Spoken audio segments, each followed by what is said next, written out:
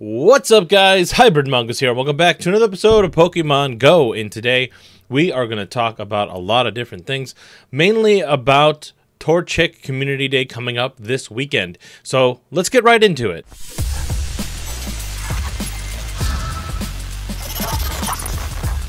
As you guys know, this Saturday coming up is Torchic Community Day, and uh, Niantic just posted some more information about that. Actually, the Pokemon Go app posted more information about that, and you guys can see that right here. And it says here on the Pokemon Go app Twitter, it says attention trainers evolve Combusken during Pokemon Go Community Day or up to one hour afterward to obtain Blaziken that knows Blast Burn. Now, there was a lot of outrage after this because a lot of people were like, hey, where is Blaze Kick? Blaze Kick is the signature move of Blaziken, so to not have Blaze Kick is kind of ridiculous. So we're like, where's Blaze Kick? Come on, man. Come on. Then shortly after that, they actually posted on Twitter again saying, uh, fired up for Pokemon Community Day, kicking in on Community Day and going forward, trainers can use TMs to teach their Blaziken a powerful fire type move, Blaze Kick. So, this is actually a pretty big deal. This is a pretty big deal. and the GIF here by I Play Harmonies, that's, that's like the perfect GIF right there. I mean, literally, I was like, what?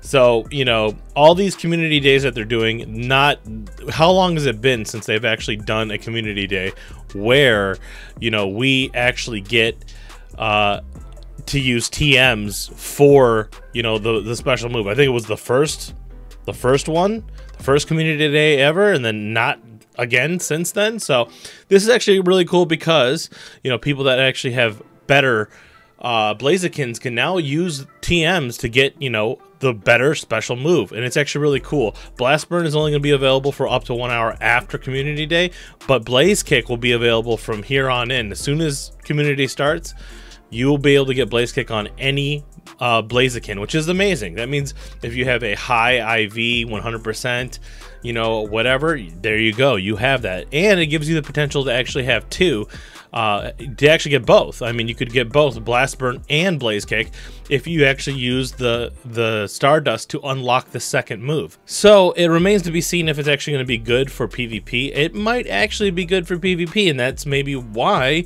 you'd want the second move. But let's get into the actual official announcement just to cover everything.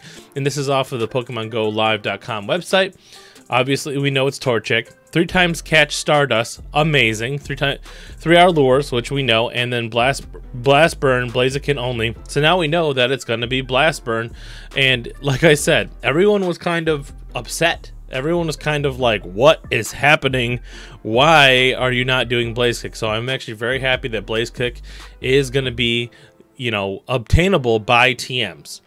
Um, will I actually go for Blast Burn and Blaze Kick? I don't know yet. We'll have to see exactly how good it is in PvP, but, you know, just to stay ahead of the curve, if you have any good IV, uh, you know, Torchics right now, you might want to hold on to them. You know, are you guys going for both Blast Burn and Blaze Kick? Are you going to actually spend the Stardust to get both charged moves? Um, you know, I think I have a fair amount of charge TM, so I think I'll be okay on the ones that I need. Just a couple tips, you know, for Community Day, as always, uh, you want to make sure that you have your space open with GoFest a, like a month away now, which is crazy. You should be practicing this. I've been practicing this a lot more where I'm starting to actively clean out my storage. Uh, I'm trying to get 800, 800 slots. Right now, I'm easily getting like 500. So you want at least three to 500 slots open for this three hour event. Uh, that way you don't have to worry about stopping. Also, you want, you know, two to 300 Pokeballs, two to 300 Great Balls. Ultra Balls are not going to be that big of an issue. Um, having over 100 is good, but, you know, if they're shiny, they're not going to run from you anyway, so it's really not that big of a deal. Uh, with the higher catch rate on community days, I usually use Pokeballs anyway.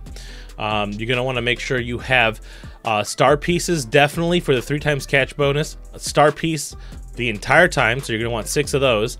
And then you're also going to want incense. And I can't stress this enough. I say this on every community day tip video that I get that I talk about. You want to make sure that you have as many.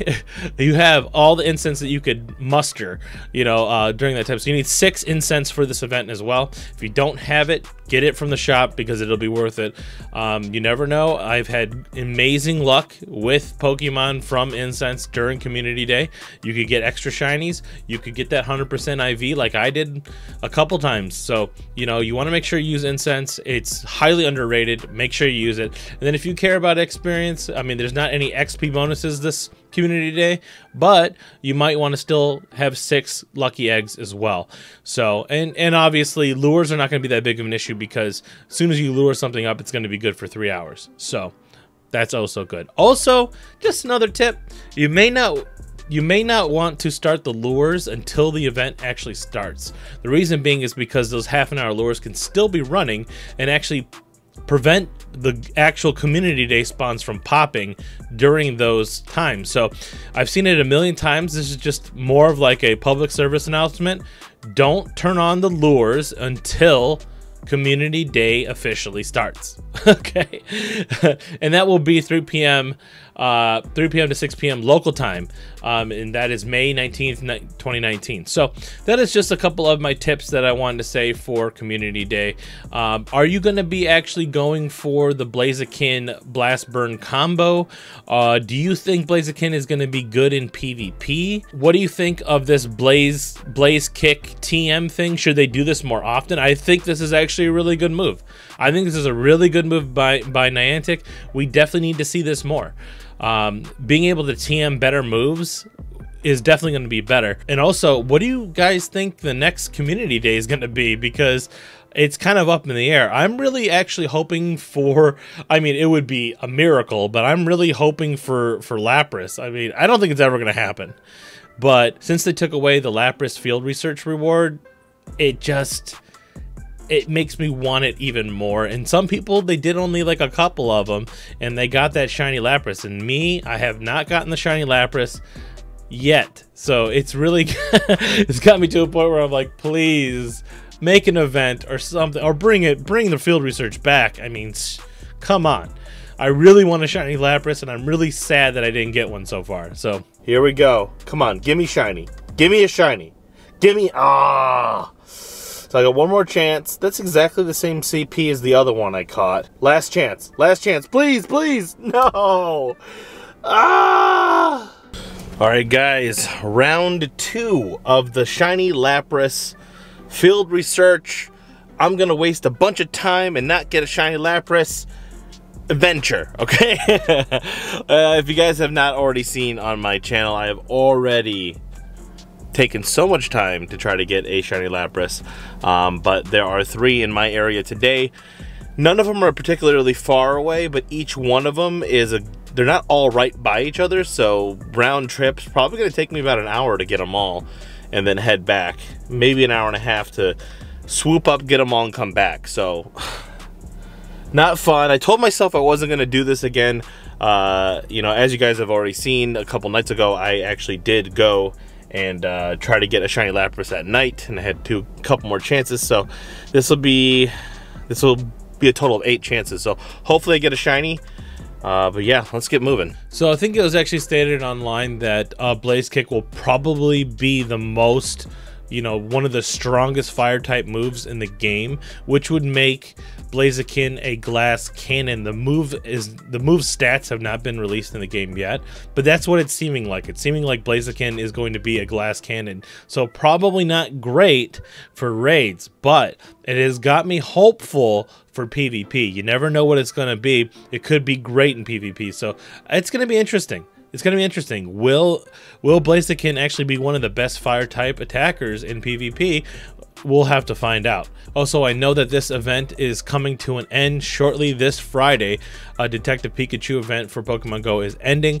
I do have to say that I will be probably live streaming tomorrow because it will be my last chance to actually get, you know, some more shinies. I have gotten one shiny Aipom so far, but that's it. Uh, you know, other than that, I mean, this event has actually been really cool. So I'm looking forward to that. So, uh, you know, pay attention to my Twitter. I'll be posting a time when I'll be starting to stream tomorrow. I definitely want to live stream this event. Uh, and it, like I said, I think it's going to be one of my last times to actually play. So I definitely want to cover that. So anyway, guys, that is going to do it for the video. If you enjoyed this video, hit that like button, subscribe if you haven't already, and I'll see you guys in the next one. Later.